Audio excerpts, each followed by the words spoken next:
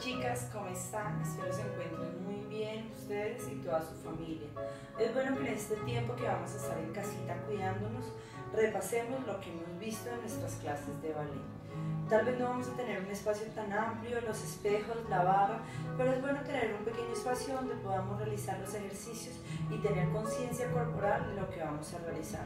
En este primer video vamos a repasar nuestras posiciones básicas de pies y de brazos. ¿Listo? Entonces empezamos con nuestra postura, bracitos, apretamos estómago, pierna, arriba el mentón y empezamos con la sexta posición.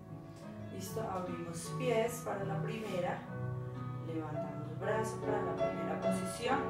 Recuerden que es un rodadero que va. Abrimos los brazos a la segunda, pies a la segunda. La distancia de los talones es la distancia de nuestros hombros. Cerramos a tercera, el talón va a la mitad del pie brazo está en segunda posición y el otro está en tercera. Voy ahora a cuarta, adelante, y subo. ¿Listo? Puede haber una cuarta de brazos cerrada o una de cuarta de brazos abierta. Subo a quinta, brazos y cierro.